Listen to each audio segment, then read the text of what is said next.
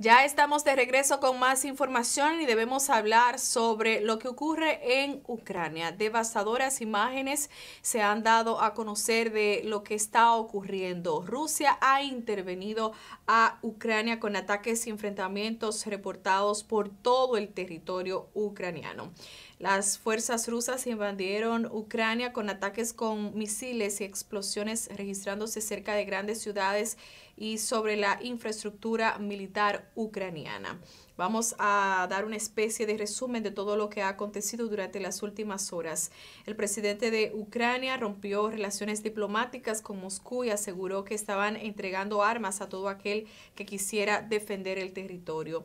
La policía ucraniana informó de que se habían producido víctimas entre la población civil y como no, esto es lo que estamos viendo en imágenes. El ejército ucraniano asegura que acabaron con alrededor de 50 invasores rusos y derribaron al menos seis aeronaves rusas. Si bien esa información eh, aún no ha sido confirmada de manera independiente. El presidente de Estados Unidos, en cambio, Joe Biden, anunció una nueva ronda de sanciones económicas que incluirán el congelamiento de activos de bancos y capitales de inversionistas.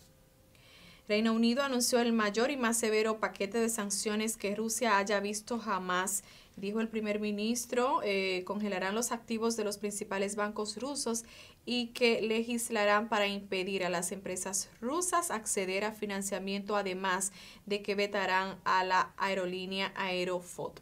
El presidente ucraniano dice que está cayendo una nueva cortina de hierro que está apartando a Rusia del mundo civilizado. Rusia también, por su parte, que se ha encontrado poca resistencia en el país y aseguran que las Fuerzas Armadas ucranianas están huyendo en masa.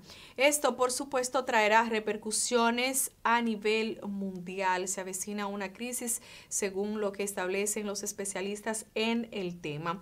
Y vamos a presentarles a ustedes parte de las declaraciones que estuvo ofreciendo el obispo de la diócesis de la Altagracia este estableció que lo, lo, que se debe tomar en cuenta es la cantidad de víctimas, todo lo que esto lacera a la población, a el humanismo. Vamos a escuchar sus propias declaraciones. Monseñor Jesús Castro Marte se mostró preocupado ante esta situación y las posibles repercusiones, no solo en la República Dominicana, sino a nivel mundial.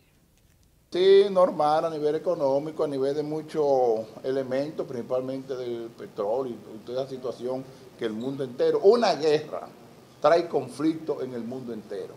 Y el peor conflicto y lo más preocupante son los seres humanos que tenemos que, que tenerlo en cuenta. Es decir, ancianos, adultos mayores, sufren los niños, los jóvenes. Una guerra nunca trae cosas buenas. Y a veces son por intereses particulares.